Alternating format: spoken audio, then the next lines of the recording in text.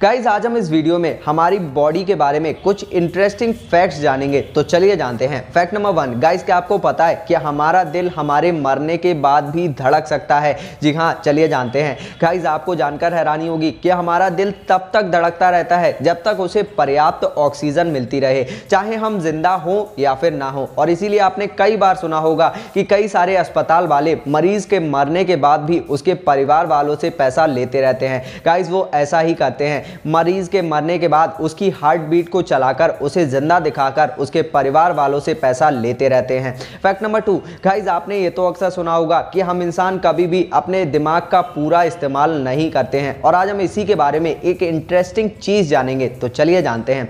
Guys आपको जानकर हैरानी होगी कि हमारे ब्रेन में करीब सौ बिलियन न्यूरॉन्स होते हैं। लेकिन आपको ये जानकर और भी ज़्यादा हैरानी होगी कि उनमें से केवल 15 परसेंट ही एक्टिव होते हैं। गाइज़ अगर हम अपने ब्रेन के 20 परसेंट न्यूरोन्स भी एक्टिव कर लेना तो हमारी बॉडी और हमारे ब्रेन का पूरा कंट्रोल हमारे पास होगा।